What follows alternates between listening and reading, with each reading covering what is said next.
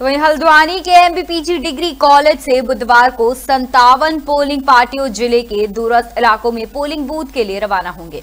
वही जानकारी देते हुए जिला निर्वाचन नोडल अधिकारी विशाल मिश्रा ने बताया कि 1010 पोलिंग बूथ पर 19 अप्रैल को मतदान होने वाला है, जिसके लिए एमबीपीजी निर्वाचन कंट्रोल रूम से सभी पोलिंग पार्टियों को दो दिन पहले संतावन दूरस्थ पोलिंग बूथ पर जाएगी।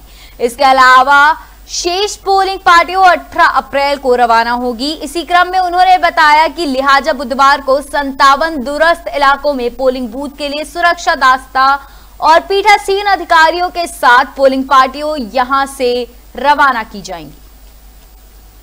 कि कुल एक हज़ार दस पोलिंग बूथ बनाए गए हैं और मैं आज आपको अवगत कराना चाहूँगा कि कुल सत्तावन पोलिंग पोलिंग स्टेशन ऐसे हैं जिसके लिए पोलिंग पार्टी पोलिंग पार्टी रवाना होने मतलब मतदान से दो दिन पहले पी माइनस वन मतलब कल यहाँ से पोलिंग पार्टी रवाना हो जाएँगी।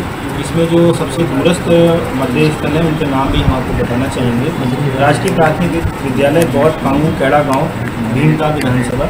वो एम डिग्री कॉलेज से लगभग 140 किलोमीटर दूर है। दूसरा सर्वाधिक पैदल दूरी वाला मध्य स्थल जो है, वो राजकीय प्राथमिक विद्यालय रीखा कोट है, जो मोटर मार्ग से करीब पाँच किलोमीटर पैदल है और ओवरऑल डिस्टेंस यहाँ से 82 किलोमीटर जो रोड की है टोटल डिस्टेंस 87 किलोमीटर है। सर्वाधिक पैदल दूरी का जो मध्य स्थल भीमताल में है, वो राष्ट्रीय प्राथमिक विद्यालय मलुआ ताल है।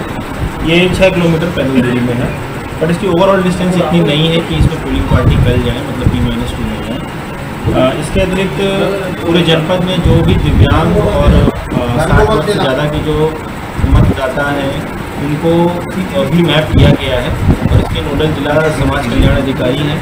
उन्होंने करीब पंचानवे व्हील चेयर को अरेंज किया हुआ है, जो कि ऐसे बूथ हैं जहाँ पर या पोलिंग स्टेशन जहाँ पर सबसे ज़्यादा इस तरीके के मतदाता हो सकते हैं। वहाँ पर इसकी व्यवस्था की गई है। इसके अलावा जो नगर निगम सात पोलिंग बूथ को अडॉप्ट कर रहा है पाँच से हम लोग साठ को कर रहे हैं। वहाँ पर भी हम लोग प्रयास कर रहे हैं कि व्हील चेयर की सुविधा दी जाए। हमारा प्रयास है कि इस बार ज़्यादा से ज़्यादा पोलिंग बूथ पे ज़्यादा से सुविधाएँ प्रदान की जाए, लोगों को मोटिवेट किया जाए, खासकर अर्बन एरिया में, और ताकि मतदेय जो प्रतिशत है उसको बढ़ाया जा सके।